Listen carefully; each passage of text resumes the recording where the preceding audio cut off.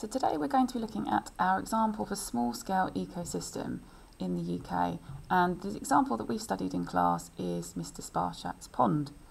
So an ecosystem is a complex natural system made up of plants, animals and the environment in which they live in. So the energy that is provided for ecosystems comes from the sun. That's really important.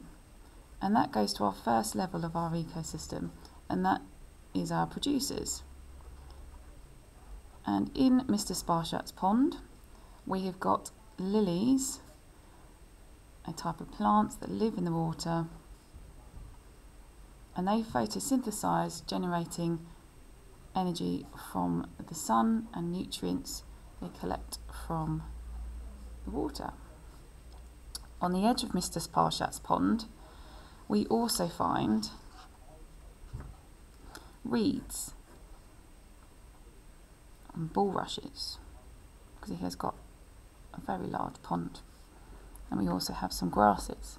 So these plants are producers and they convert energy from the sun via photosynthesis into um, carbohydrates for growth.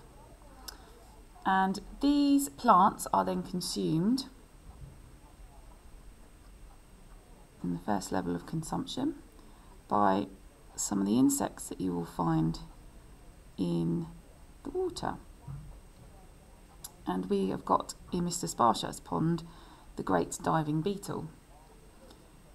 From our great diving beetle, it gets a little bit more complex because we're not just showing a food chain, which would be a single um, line of connections, but actually it's more of a food web. So one of the creatures that likes to eat a great diving beetle is a duck. And clearly my duck is looking great swimming on the water. There he is. Ready for his next snack on a great diving beetle and they also consume plants. But the great diving beetle is not safe from within the water because there are fish in Mr. Sparshatt's pond that also like to snack on the great diving beetle. There they are, very happy looking fish. And I believe the fish that Mr. Sparshatt has um, include perch. Now from here, the fish can also be consumed by a bird that lives up above the water. And I know this causes Mr. Sparshatt lots of annoyance because he's had to put a net over his pond to stop the herons from getting at his fish. So there's a heron having a look, trying to find the fish.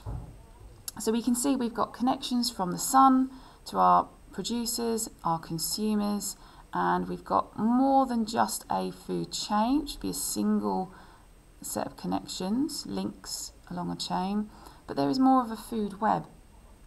Now when uh, an animal dies, a creature dies, a species dies, we'll represent this by one of our dead fish, they decompose and their bodies break down through decomposers, which are found in um, the ecosystem by bacteria or um, fungi. So I'm going to draw a little bacterial cell, or you might find um, mushrooms, for example, will do this. Um, toadstools will do this up on the land as well. And they have a really important role because they break down the dead organisms and release their nutrients back into the ecosystem so that the producers can then use those nutrients to grow. And you can see that everything is connected and they are linked together in this ecosystem. So energy from the sun is taken by the, the lily and the reeds they convert the energy through photosynthesis. The plants are consumed by the great diving beetle, who in turn is consumed by the perch, or the duck, and the perch is then eaten by the heron. And when these creatures die, their bodies are decomposed through the decomposers such as bacteria or fungi, and the nutrients are released back into the ecosystem. So our example is Mr. Sparshatt's pond, which is a pond in the UK.